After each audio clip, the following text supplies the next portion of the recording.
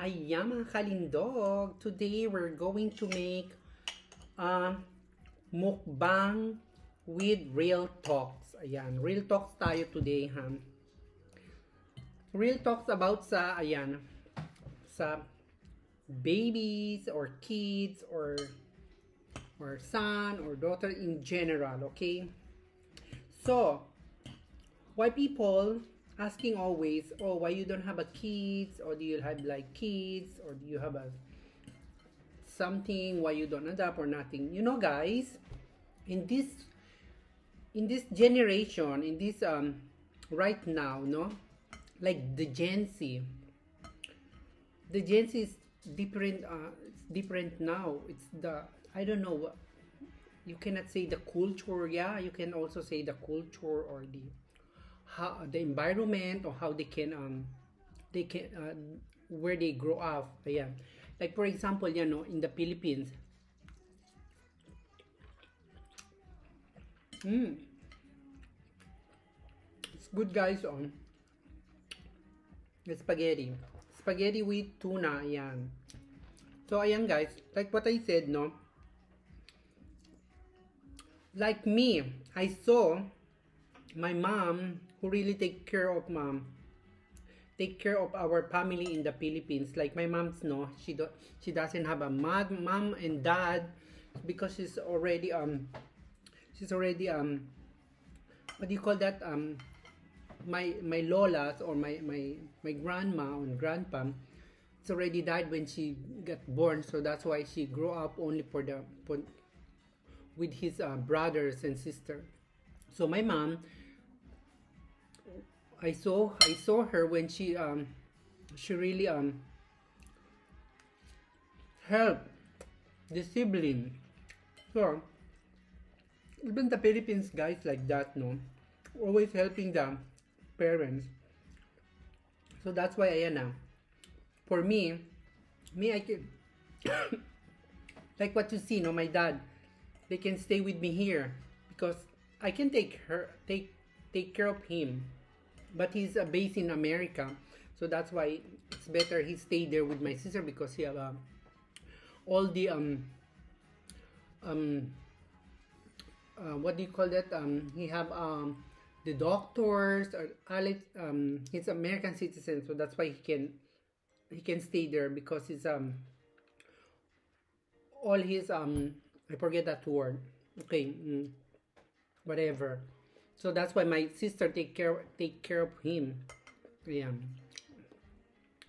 Ngayon, now, ang pagkakaroon ng uh, kids or having a kids, uh, it's different with you, no? But not all. Now, the, I telling you the the generation or the new Gen Z is you don't have to um to give them the um, what um,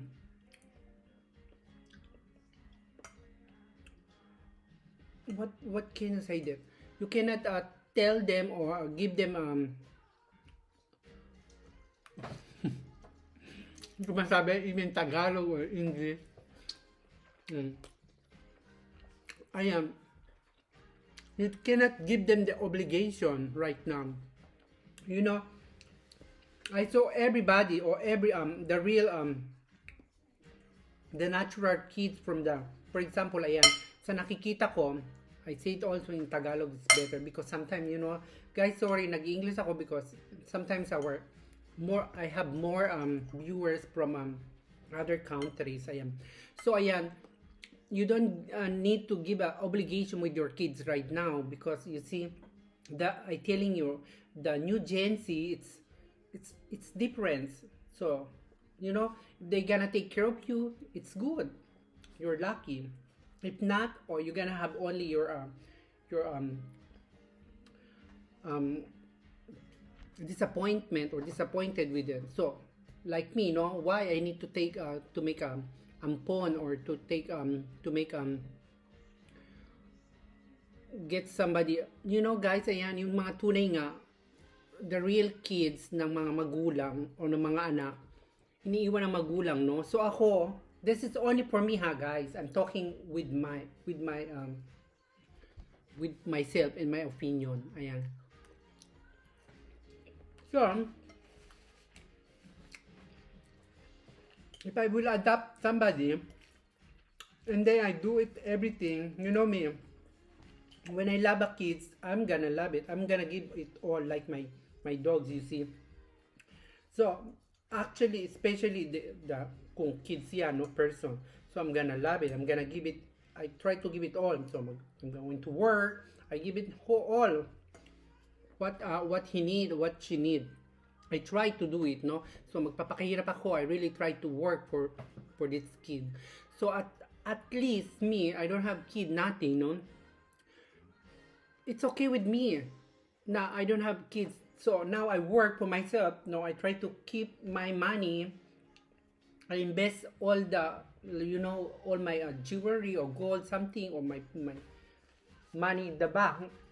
So this is for me when I'm getting old. So even in the Philippines I have my lots my my house. So when somebody gonna take care of me I'm gonna give this um, they gonna be heritage or uh, ano ba yun? Um, mana I give it to them who gonna take care of me.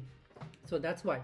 Kasi if I get some um some um ampon or mag-ampon ako or um you know sasakit lang yung loob ko I'm gonna get um it's not good di ba? Yung sarili mong anak pag meron kang anak na hindi ka take care sumasama lang yung loob mo di ba? Yung pangit. So it's better.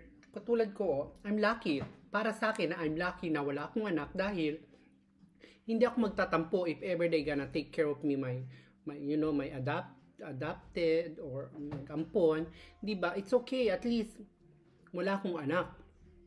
Eh kung yung iba 'di ba, inampun mo na or may anak, iniiwan pa nga yung mga magulang. So kasi I work in the in the facilities, no? Ayan. So kaya nakita ko sa din ng anak iniiwan nila. Well, hindi ko nila lahat. I don't say all, but some. Ayan. So, and now the generation of Gen is different. You can you cannot um, give them an obligation So, iba na ngayon guys, lalo na dito sa Europe. If you have kids here in Europe, oh, it's different. You need to work for yourself. You need to do it.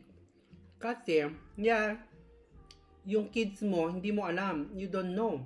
Kasi ibang culture na eh. They grow up in another culture. Like in the Philippines, yeah, you can say it's still, um, okay, 60% they gonna take care of you because the in the Philippines the culture is different. You're gonna be in the Philippines you always uh, take care of your family you know? You try to help them. You see this is the Philippine culture. Even you um you need to um to help each other. But now it's different na. Hindi na no, you know guys did you get me? So that is my real talk only for myself. So i'm lucky. You see now i try to get um to save by my um, save uh, money and you know i have my uh, property in the philippines. Somebody who take care of me then they can get it. So yun lang.